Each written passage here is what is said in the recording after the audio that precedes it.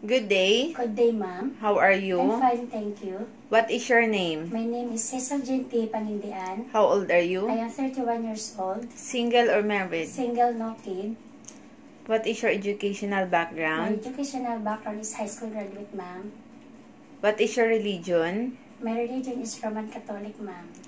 Do you have brothers and sister? Yeah, I have, ma'am, five brothers and five sisters. Where are you from? I am from Picoaran, Alamada, Cotabato.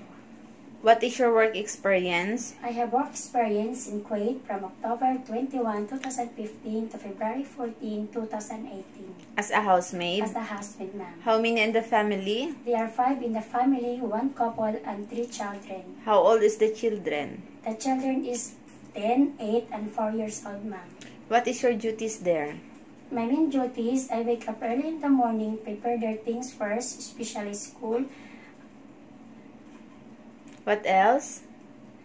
I can cook Arabic or Filipino food. I can do clean the house.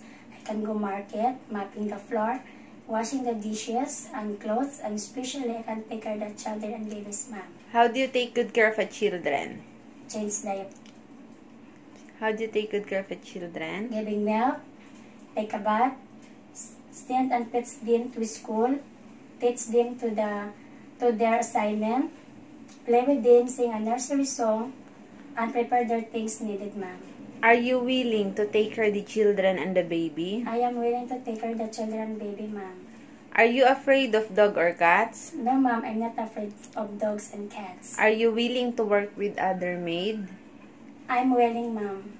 It is okay for you if your employer arrange your holiday. It's okay, ma'am.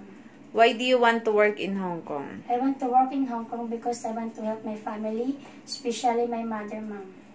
What is your message to your future employer? Dear mom and sir, if you choose me as your house housemaid, I will do my duties and responsibilities and I, I, I do hard working, ma'am. Thank you.